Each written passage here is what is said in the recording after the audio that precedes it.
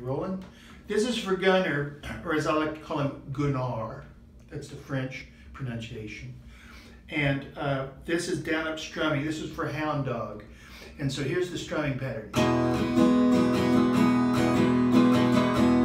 You got to be able to play it that fast, but we're doing it, we're trying to make it precise. The pattern is down,